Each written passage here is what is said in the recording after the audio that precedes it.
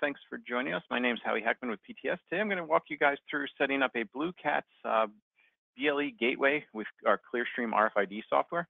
Um, so I'll actually point the gateway to the Clearstream application and start uh, streaming beacons, um, both iBeacons and Eddystone beacons to a, a backend database.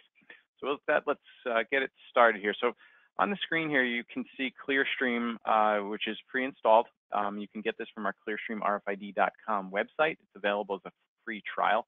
So I would encourage anybody looking to set up what I um, configure today uh, by going to our website and downloading the free trial.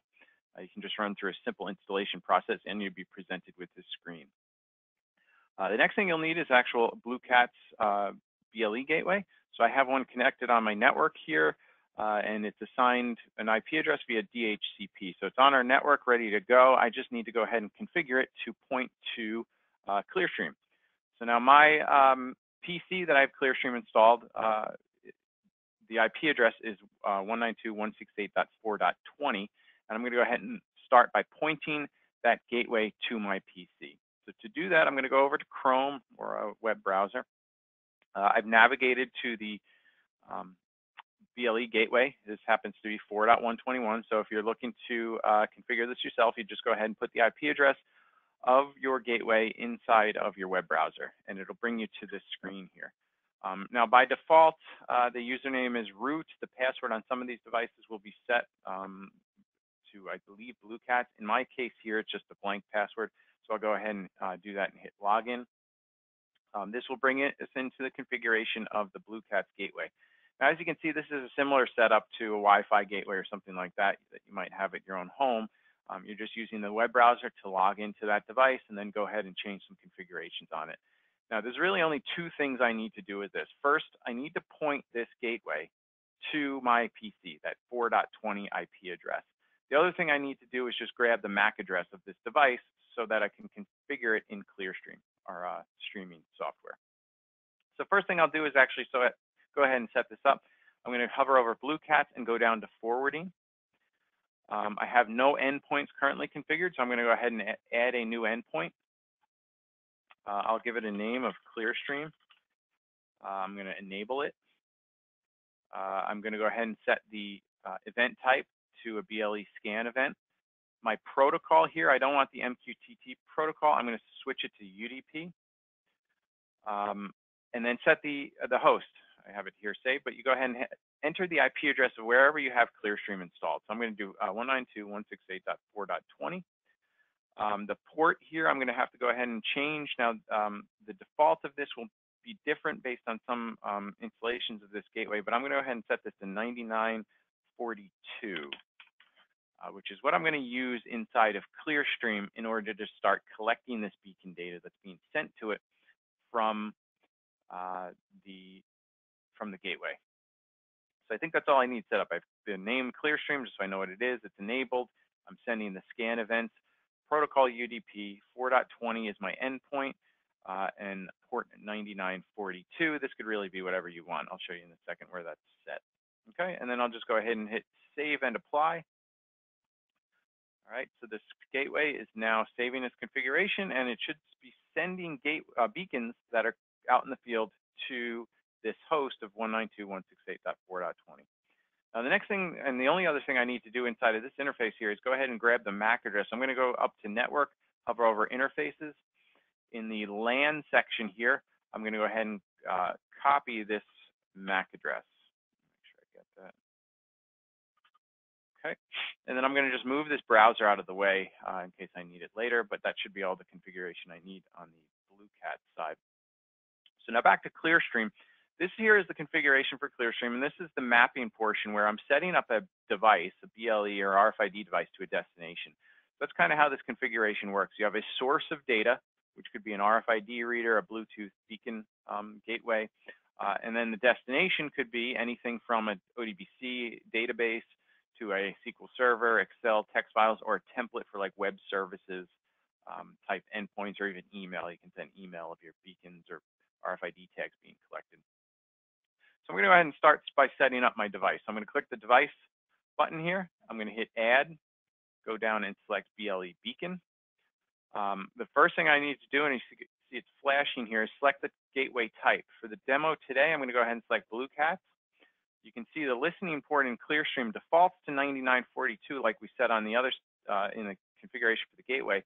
But this you could change to whatever you need. If you needed a different port here, you would change this here as well as on the um, the endpoint configuration in the uh, web browser. Finally, the only other uh, configuration I need to do in order to really get this up and running is paste the MAC address in this device ID field within Clearstream. Um, and then the rest of this I can kind of leave as default, um, although one thing I add are beacon reads um, through this uh, using this checkbox here. So we limit the amount of data being sent over to um, the destination. So I'm going to just going to go ahead and leave that or turn that on and hit close this dialog. So now you can see I have uh, Clearstream device one is set up as my source of data.